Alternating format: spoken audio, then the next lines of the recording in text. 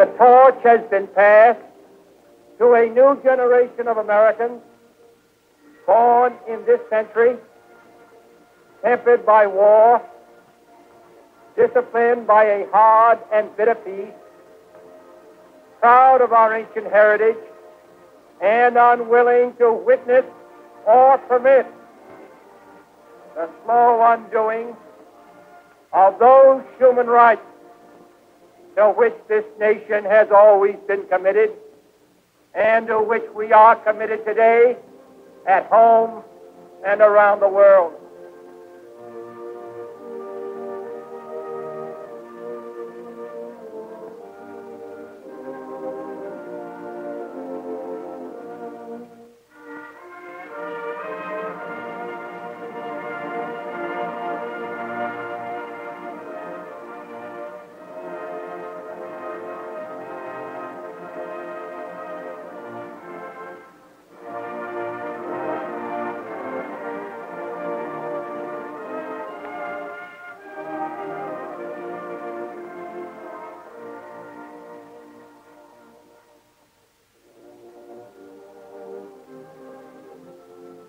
We are met in solemn assembly to memorialize our late President, John Fitzgerald Kennedy, and to rededicate our lives to achieving the suffrage of the free human spirit to which the late President was committed.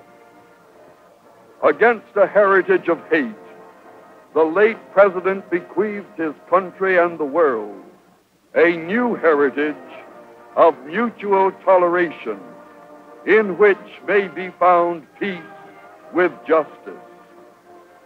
Together we grasp the torch from his hand.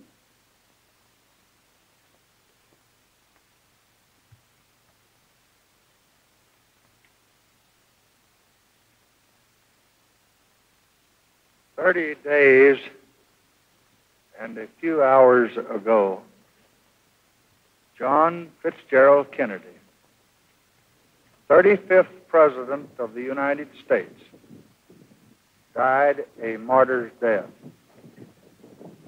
The world will not forget what he did here. He will live on in our hearts, which will be his shrine. Throughout his life, he had malice toward none. Had charity for all. But a senseless act of mindless malice struck down this man of charity, and we shall never be the same.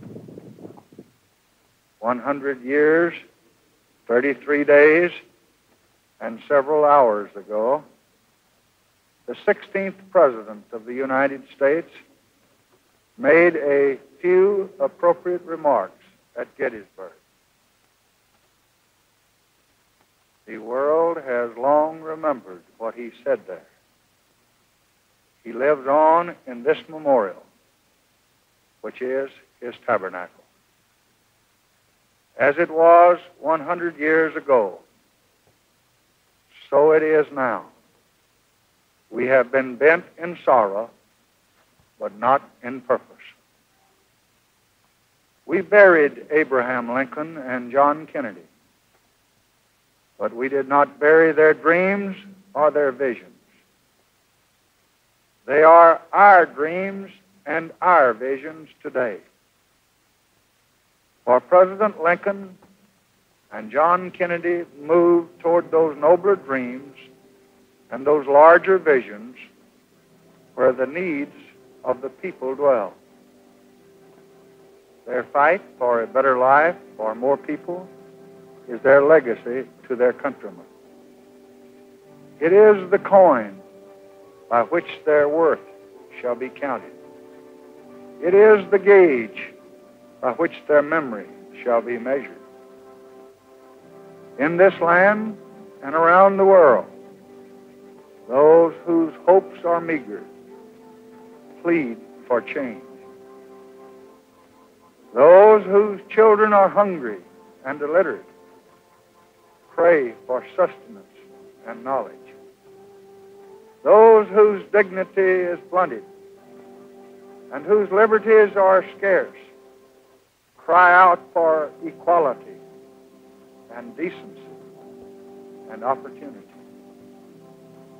And on this eve of Christmas, in this time of grief and unity, of sadness and continuity, let there be for all people in need the light of an era of new hope and a time of new resolve.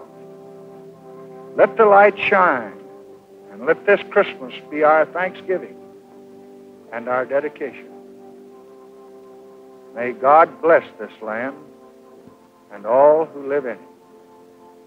So let us here on this Christmas night determine that John Kennedy did not live or die in vain, that this nation under God shall have a new birth of freedom, and that we may achieve in our time and for all time the ancient vision of peace on earth, goodwill toward all men.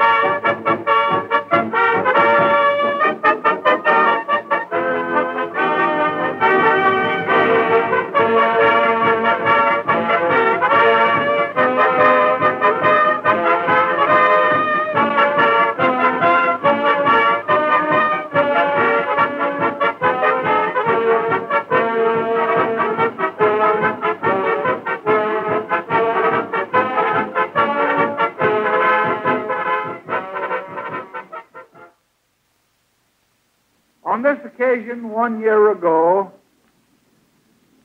our beloved President John F. Kennedy reminded us that Christmas is the day when all of us dedicate our thoughts to others. When we're all reminded that mercy and compassion are the really enduring virtues when all of us show by small deeds and by large that it is more blessed to give than to receive. And now, here, as we have done so many years, we turn on in your capital city the lights of our national Christmas tree. And we say that we hope that the world will not narrow into a neighborhood before it has broadened into a brotherhood.